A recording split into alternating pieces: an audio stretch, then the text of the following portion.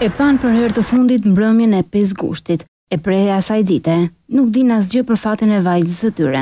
Familja Liço në qytetin e Vlorës, prej tre ditesh është në pritje të informacioneve nga policia, pasi ka bërë denoncimin për zhdukjen e 15-vjeçares, Ergita.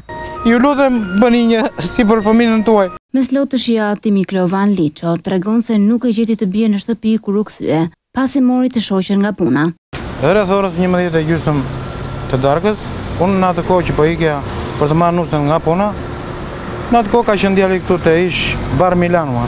Kish parë çupën aty, i kish thënë zhduku në shpi me vrap, nga aty pastaj kish vajt 5 sekonda në shpi dhe çupa ish larguar nga shpia.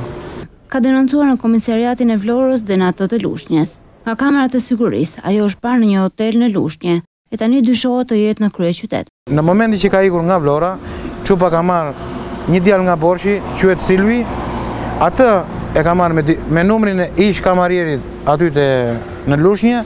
Çupa ka dalë rreth orës dymbëdhjetë e gjysmë nga hoteli dhe më mbrapa nuk është parë. Familjarët në dëshpërim kanë bërë thirrje për ndihmë, ndërsa mësohet se bija u ka thënë prindërve të shoqes së saj se e ëma kishte dijeni për vendndodhjen, por ndërkohë që vetë nëna thotë se ajo nuk kishte njoftuar për këtë.